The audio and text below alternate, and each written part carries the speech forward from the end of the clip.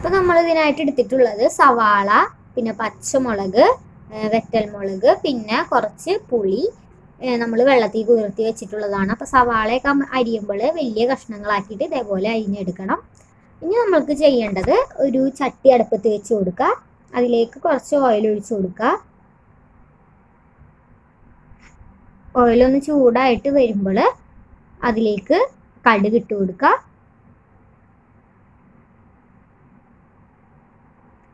കടുക് നന്നായിട്ട് പൊട്ടി വരുമ്പോൾ അതിലേക്ക് ഉലുവിട്ട് കൊടുക്കുക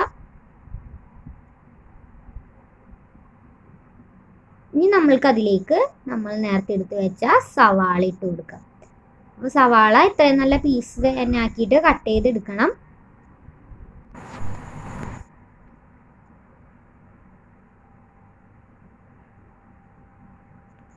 സവാള ഇട്ട് കൊടുത്തിട്ട് ഒന്ന് മിക്സ് ചെയ്തിട്ട് എടുക്കുക നന്നായിട്ടൊന്ന് ഇളക്കി കൊടുക്കുക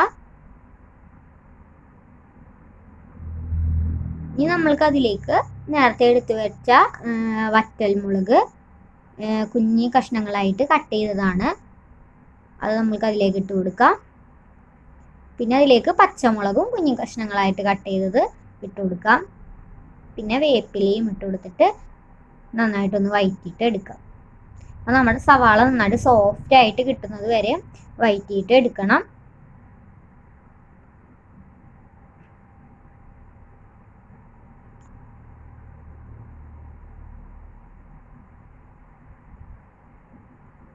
സവാള പെട്ടെന്നൊന്ന് വയണ്ട് കിട്ടാൻ വേണ്ടിയിട്ട് അതിലേക്ക് ഉപ്പ് ചേർത്ത് കൊടുക്കുക.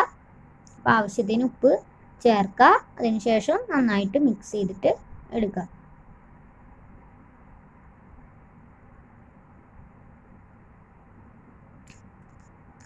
ഇവിടെ നമ്മുടെ സവാള നന്നായിട്ട് സോഫ്റ്റ് ആയിട്ട് ഒരു ഗോൾഡ് കളറായിട്ട് കിട്ടിയിട്ടുണ്ട്.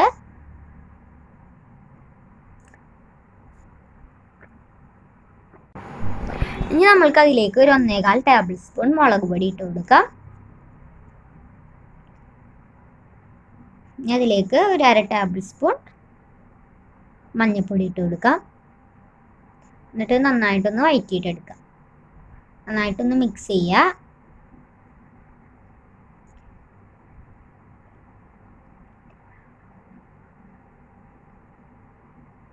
നമ്മുടെ മുളക് പൊടിയുടെ ആ പച്ചക്കുത്ത് പോകുന്നത് വരെ നന്നായിട്ടൊന്ന് വഴറ്റിയിട്ടെടുക്കുക.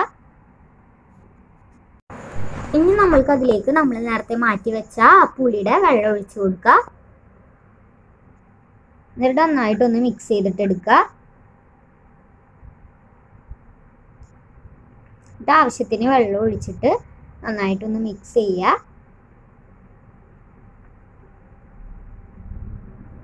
ഇനി അതിലേക്ക് പച്ചമുളക് ഒന്ന് കീറിയിട്ട് ഇട്ട് കൊടുക്കുക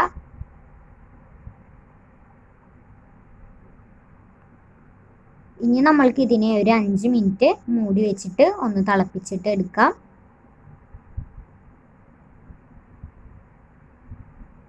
അപ്പോൾ ആ അഞ്ച് മിനിറ്റിന് ശേഷം നമ്മളൊന്ന് തുറന്നു നോക്കുക എന്നിട്ട് നമുക്കൊന്ന് മിക്സ് ചെയ്യുക നന്നായിട്ടൊന്ന് ഇളക്കി കൊടുക്കുക ഇളക്കി കൊടുത്തതിന് ശേഷം ഒന്നും കൂടെ മൂടി ഒന്ന് വെക്കുക എന്നിട്ട് ഒന്നും കൂടെ ഇതിനെ തിളപ്പിച്ചെടുക്കുക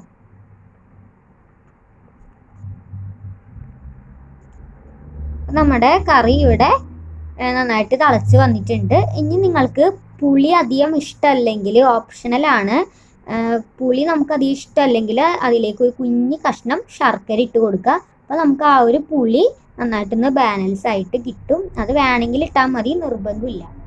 ഇനി നമുക്ക് അത് ഇട്ടതിന് ശേഷം ഒന്നും കൂടെ മിക്സ് ചെയ്തിട്ട് ഒന്നും കൂടെ ഒന്ന് അടച്ച് വെച്ചിട്ട് തിളപ്പിച്ചിട്ട് എടുക്കാം. ഇപ്പോൾ നമ്മുടെ ടേസ്റ്റി ആയിട്ടുള്ള കറി ഇവിടെ റെഡി ആയിട്ടുണ്ട്. വളരെ സിമ്പിളാണിത് തയ്യാറാക്കി എടുക്കാനായിട്ട് അതുപോലെ തന്നെ നല്ല ടേസ്റ്റും ആണിത്. അപ്പോൾ കുറഞ്ഞ ചിലവ് കൊണ്ടാണ് നമ്മൾ ഈ ഒരു കറി തയ്യാറാക്കി എടുത്തിട്ടുള്ളത്.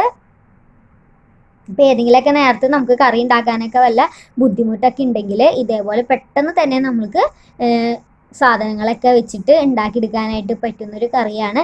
അപ്പോൾ എല്ലാവരും ഒന്ന് ട്രൈ ചെയ്യുക. എല്ലാവർക്കും എന്റെ വീഡിയോ ഇഷ്ടമായെന്ന് വിചാരിക്കുന്നു. ഇനിയൊരു പുതിയ വീഡിയോ ആയിട്ട് ഞാൻ പിന്നീട് വരുന്നതാണ്. Okay thank